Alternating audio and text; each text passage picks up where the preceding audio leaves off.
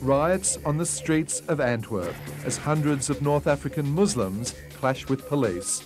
They're furious about the murder of a 27 year old Moroccan teacher, gunned down by an elderly white Belgian man in an apparent racial killing. And this is the man whose name they shout, Dyab Abou Jahjah, a charismatic, articulate 31 year old who is honing and sharpening Muslim anger as leader of a new militant group called the Arab European League. This police corps here in this city is infiltrated by far right, by Vlaams Blok. Uh, we don't trust them.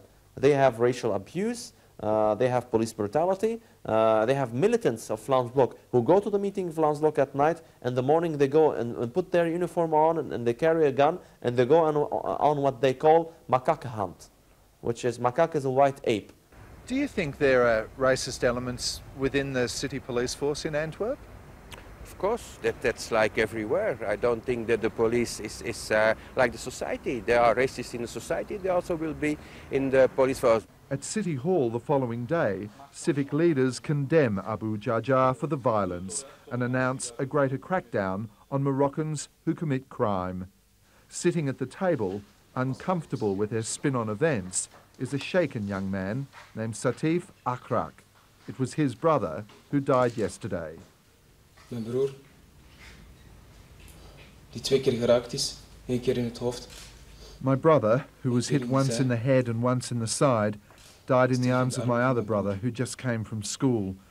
What happened yesterday is clearly pure racism, but we ask all the community to live with us, and we hope there will be no misuse of this incident.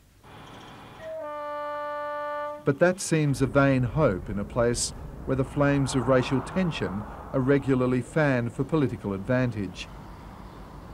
Philip de Winter is no friend of Belgium's 400,000 Muslims.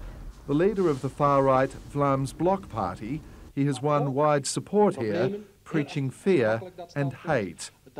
At the last mayoral elections, one in three Antwerp voters chose Philip de Winter's politics as their own and this is what he thinks about Abou Jahjah and his religion. Don't be naive about Islam. Don't be naive about that religion.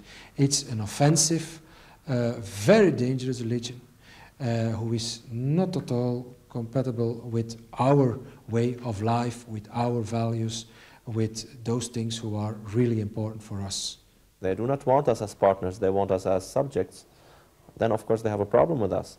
So first they try to marginalize us, to say that we don't represent anybody. Then they see that we represent a lot of people, so they try to criminalize us. If people are shooting Moroccans in the streets here, I will not be the one saying don't shoot back. This is the most controversial of Abou Jahjah's initiatives, late-night street patrols by members of the Arab European League.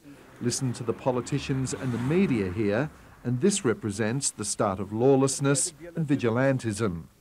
But Ahmed Azouz says the AEL is just keeping a watchful eye on the Moroccan community and those white policemen who stop Moroccans in the street. They have that mentality of superiority, even worse. Everything that goes wrong here, it's our fault even. So that's not a good uh, way of trying to have a, a healthy community here in Antwerp. Most of these young men are the children of guest workers who came to Antwerp more than a generation ago to do the dirty jobs Europeans were no longer prepared to do. But unlike their parents, they're not grateful or silent.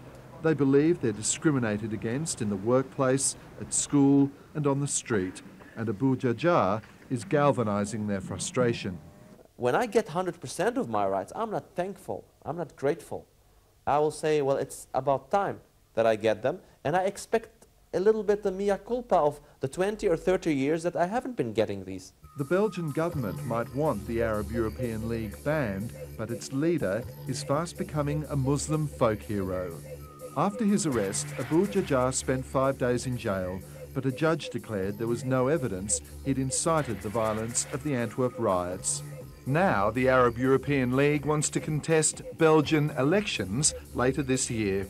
The big question is, will those in power acknowledge its right to do so or try to criminalise it further? The rest of Europe will be watching closely. I think we are a test for democracy in this country. Might you be a martyr for your cause at some point? Nobody wants to die, you know, or want to be in prison. Nobody likes that. Uh, now, if you ask me if you're prepared to do that for what you believe in, yes. It should be a very bad thing if he should come in parliament. Uh, I think we, we have to do uh, we have to do something now. Don't wait until it's a bigger uh, movement. We have to do it now, and and uh, tell those people, look, if you want to integrate, you're welcome. If you want to be happy with everybody else, you're welcome. But if you want to create an, an Arab Islamic state, go to an Arabic Islamic state. Do they want the Arab European League that is doing on elections, that is that's maybe radical, but that is democratic? Or do they want to forbid the Arab European League, they want to eliminate it, and then create a phenomenon like uh, the IRA or the ETA in Belgium? Do they want that? It's their choice.